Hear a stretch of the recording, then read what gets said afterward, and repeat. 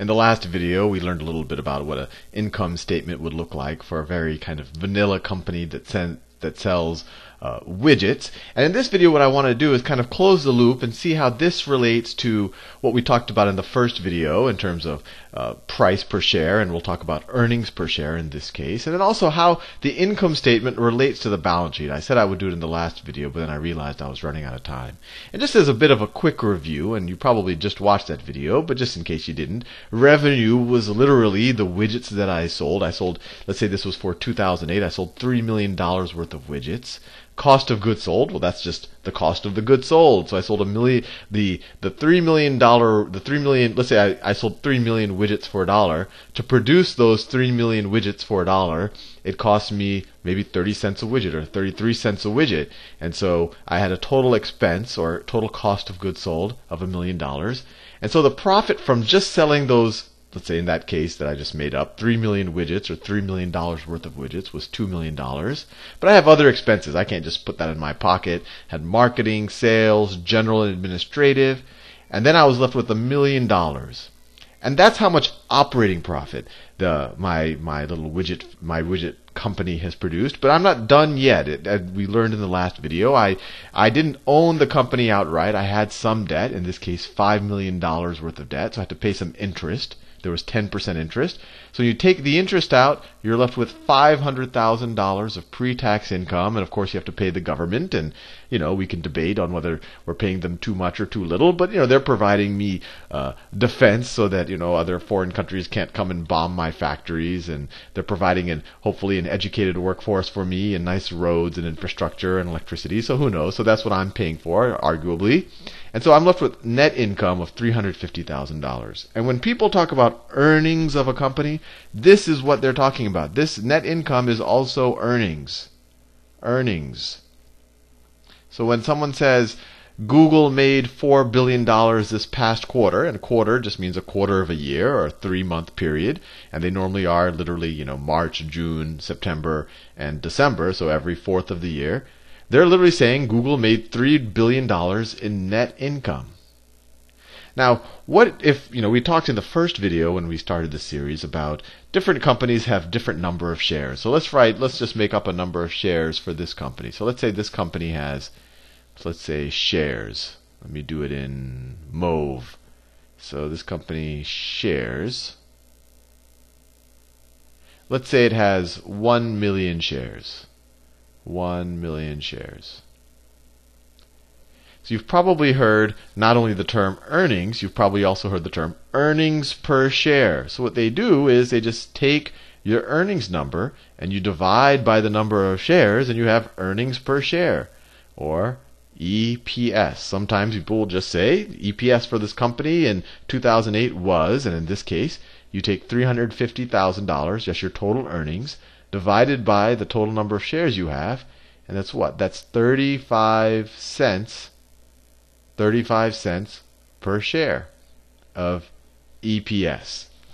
Now, you've probably heard actually before I go into into um, something, you know, I, before I go into price to earnings and all of that, I want to connect the dots between the income statement and the balance sheet. So in this period, I made $350,000. So the way you can think about what an income statement is is it tells you what happens between balance sheet snapshots. So let's say at the beginning of let's say on 1231 1231 2007 the balance sheet for the company would have looked like this. Let me just draw it. I won't use the square tool. So it had $10 million of assets. $10 million of assets. It had $5 million of debt. $5 million. You can kind of view this as the liabilities, of which debt is one of them. But let's just say it's all of it. So $5 million of liabilities. So the shareholders' equity, or you could almost view the book value of the company, the book value of the equity of the company, is $5 million. $5 million equity. $5 million equity.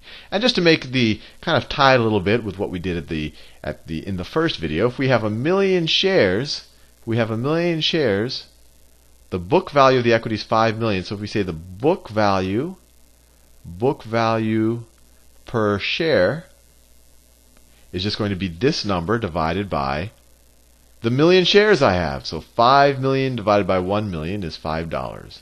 This is the book value per share. Remember, there's a difference between book value and market value. This the the, the stock of this company at, at 12/31/2007. It could have been trading at ten dollars, at seven dollars, at one dollar. That would have been the market value per share. This is the book value, and the book value is essentially saying, okay, if you take the the book value of the assets, and I talk about this a little bit in the last video, but if you say, oh well, you know, we paid ten million dollars, and you know, this is how much value there, and I'll, I'll go into more detail into how you value these type of things and you take out the liabilities, this is what the assets are worth according to uh, the accountants. The market value could be very different. But fair enough, I don't want to delve too much into that. But now, over this period of time, over 2008, 2008 happens. So the rest of 2008 happens, and we're left at the end of, let's say, at 1 1 2009 or we could say 1231 2008 it doesn't matter you know give or take a day it's a holiday anyway we have a new balance sheet right? We have a new balance sheet. But what happened here? Over the course of the year, we earned some money. And I won't go too complicated into, you know, cash and, and accrual accounting and all of that right now. We will get into that eventually, but I just want to get you the gist of what's happening. Is that we made $350,000 in this year. So our assets will have increased by $350,000. If this was, it could have increased by $350,000 of cash. It might have been increased by uh, just other people saying they owe us $350,000. Those are accounts receivables. I'll make a whole video, probably a whole series of videos on accounts receivables. It just says that it's an asset that says someone owes me that money. But any way you think about it, our assets will have increased by this amount of money over the course of the year. So now our new balance sheet at the end of 2008. So 2008 happens. Let me draw 2008.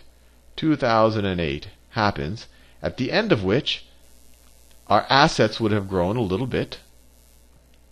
Our assets are now at ten million three hundred and fifty thousand dollars. So I'll put this in thousands, right? This is ten thousand three hundred fifty thousand. So that's the same thing as ten point three five million, right? And let's see, we haven't, all we did was we paid the interest on the debt in this example. We just paid interest. And just so you know, most corporate debt actually works that way. We'll talk later about amortization schedules and how can you pay down the debt. But unlike mortgages, a lot of corporate debt, they just pay the interest. So we still have the same amount of debt. We didn't pay down any of the principal of the debt. So we still have $5 million of debt. And what's left over for the equity? Well, all of our earnings since our debt stayed the same, all of our earnings actually falls down straight to equity. So we have five million three hundred fifty thousand dollars of equity. So the way I think about it, and probably the way you think about you should think about it, is the earnings of a company. The earnings of a company. In this case, we have three hundred and fifty thousand dollars for the year, or thirty-five cents per share. They essentially tell you what happened from one balance sheet to another. So this tells you that this number, the amount that this number grows by, the amount that our equity grows by, is earnings. So this is $350,000 of earnings.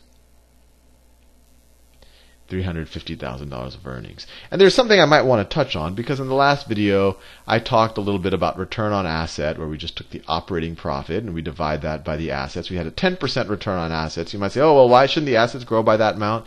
And the reason they didn't grow by that amount is because we actually ended up having to pay taxes on some of that. Even if we had no debt, we would still have to pay taxes. Just this line would have disappeared. So sometimes when people talk about return on asset, which I did in that last video, it might be interesting to say is that the pre-tax or the post-tax return on asset. In this example that I did in the previous video, it was the pre-tax return on asset.